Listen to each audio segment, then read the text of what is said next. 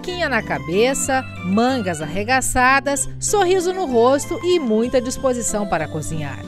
Esses registros são da equipe do setor de alimentação escolar da Secretaria de Educação de Cachoeira do Sul, que desde abril desenvolve com crianças de 4 a 6 anos de idade o projeto Escola também é lugar de alimentação saudável.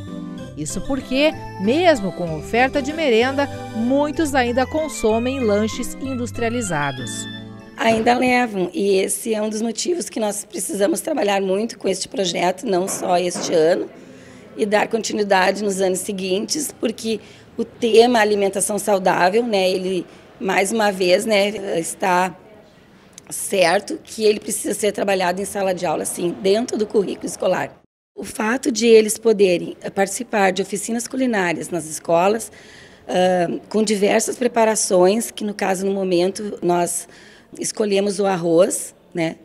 Então, vê-se que as crianças também estão envolvidas e bem entrosadas com a questão de preparar o seu alimento, né? Coisas que hoje, nos dias atuais, está muito difícil nós vermos os pais, né, uh, envolvidos com a arte de cozinhar. E eles sim estão envolvidos e muito, né, com a comunidade escolar, cozinhando, preparando alimentos Durante a terça-feira, alunos de 11 escolas participaram da primeira ação do projeto no hall de entrada do gabinete do prefeito.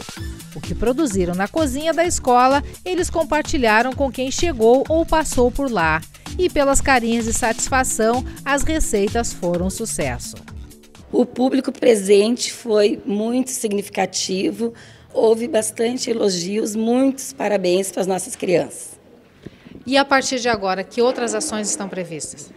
Então, agora na próxima semana, do dia 9 ao dia 13 de julho, nós teremos a exposição dos trabalhos artísticos feitos por nossas crianças, uh, que também poderão ficar expostos até o final do mês de julho e principalmente a semana seguinte, por ser o aniversário da Secretaria Municipal de Educação.